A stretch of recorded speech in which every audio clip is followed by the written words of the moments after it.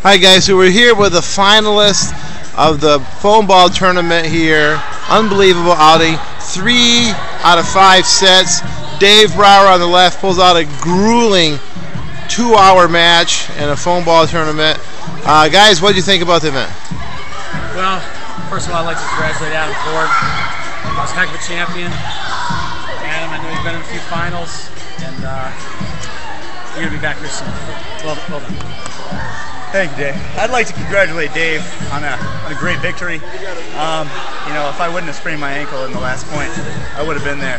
But uh, it was uh, it's a tough battle, and you know, I left it all out there. I left, I mean, all of it, literally all of it. It was out there. Guys, well, I know the crowd loved it. We had a record crowd of 22,500 in the indoor tennis center here at DeWitt Tennis Center. I want to thank you and pray that you'll come back next year to defend your title, Dave. And Adam, you're a young coming uh, up pro, and to be a mass or to be named Michigan Pro of the Year last week, unbelievable effort on your part. So thanks again, gentlemen, for supporting the event. Thanks, George. Thanks.